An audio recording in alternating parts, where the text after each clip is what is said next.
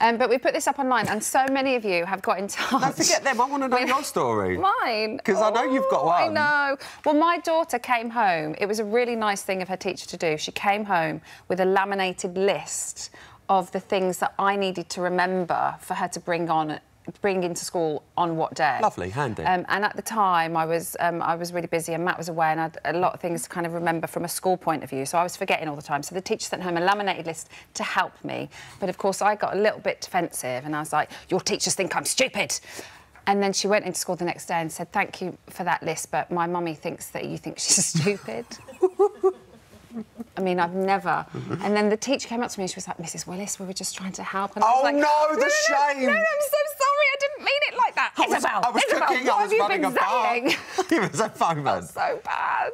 You deserve that. All they were doing was helping. Just trying to help you. I know. trying to help you. Um, anyway, uh, Diane Shepherd sent this one in. My daughter had to use the word absolute in a sentence as part of her homework. So she wrote, My mum loves absolute vodka.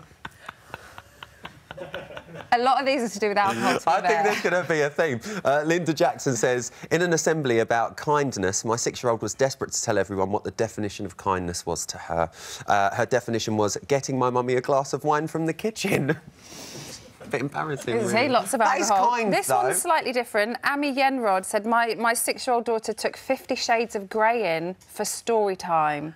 I didn't even see her put it in a bag and was mortified when the teacher handed it back to me with a huge grin on her face at home time. Yeah, that teacher's read it. I imagine, yeah, that's You because know, she read was it like, at home, oh, not in class. You've got good taste. Um, and and Anne Knox. Uh, my daughter was practicing her spellings, and the word she had to use was always. I was mortified on parents' evening when I read she had written, "My mum uses always ultra." I mean, Please keep sending these in. Because if ever I feel a bit low, I'll just read these out. I know. To myself it in the kitchen. It kind of is feel good, and it makes me feel slightly better. It's not just me that's. You're happy. not that It's bad lots, compared lots of people.